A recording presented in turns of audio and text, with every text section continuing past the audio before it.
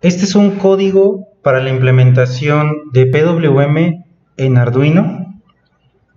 Eh, comienzo a explicar las líneas de codificación. Aquí tenemos principalmente una variable de tipo entero que se llama lectura de C, la cual estamos mapeando a un pin que se conoce como el A0. Si vemos el diagrama del Arduino, recordaremos que el A0 se encuentra de este lado, obviamente en el Arduino 1, que se reconocen como entradas analógicas.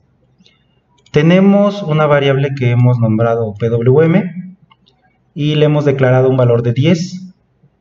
Eso obviamente porque la vamos a mapear al pin 10 que ustedes podrán ver que tiene un signo de una tilde que representa que es una señal PWM o también se reconocen como señales de salidas analógicas.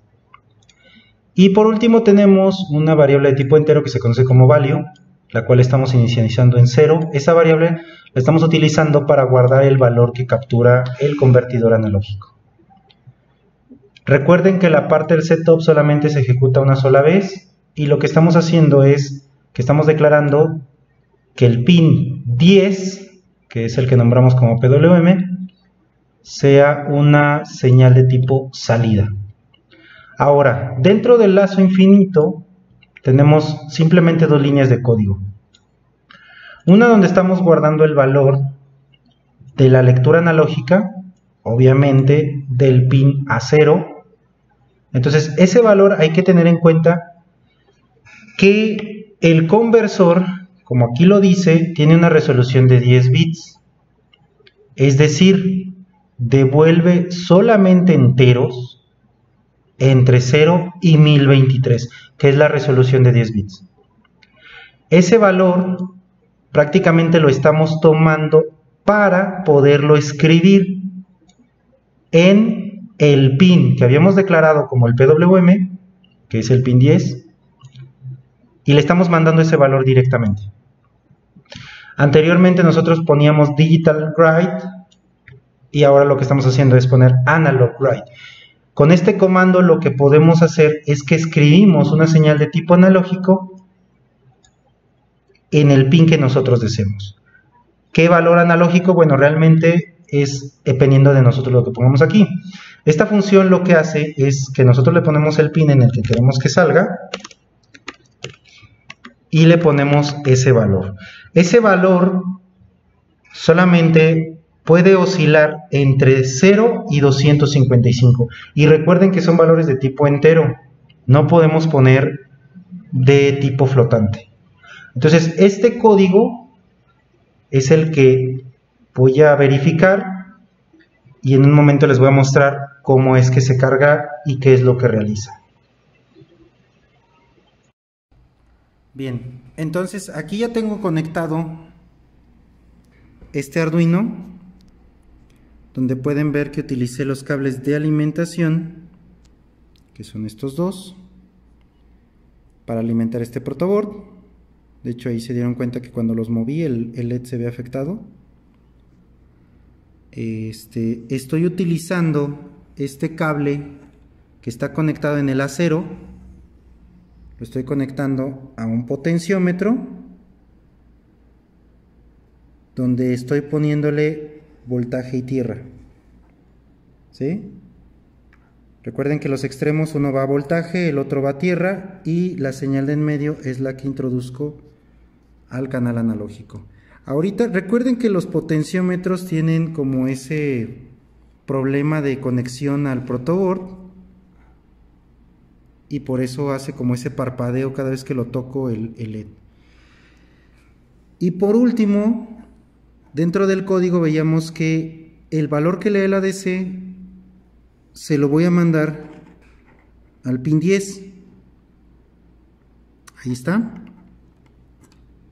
El pin 10 que está conectado a este LED con una respectiva resistencia de 330 y a tierra.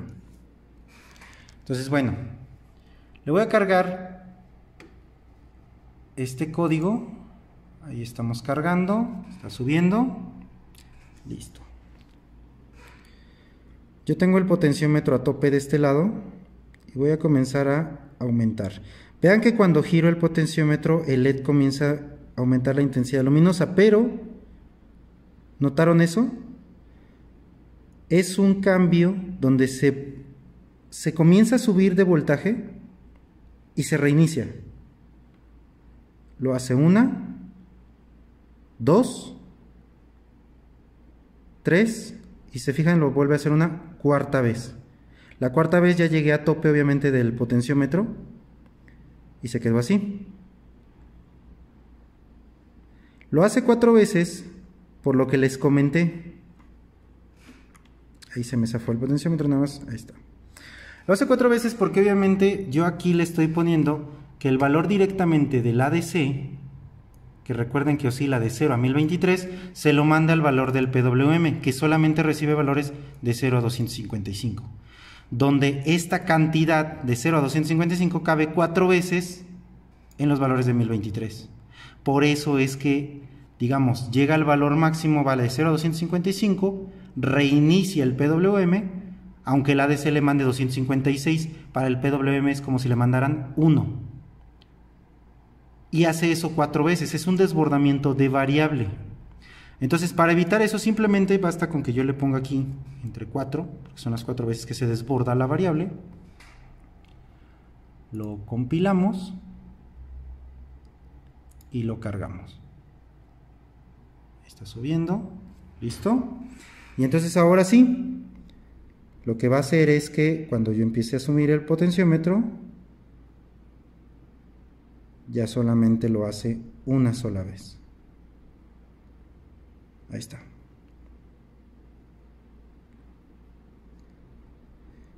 Listo, así de simple es la implementación. Recuerden que si necesitan utilizar el PWM, tienen que revisar de la tarjeta cuáles son las señales que tienen o están destinadas para PWM.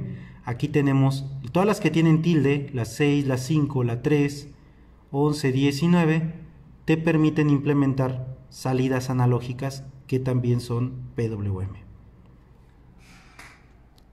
Eso sería todo por la parte de la implementación de PWM en el Arduino.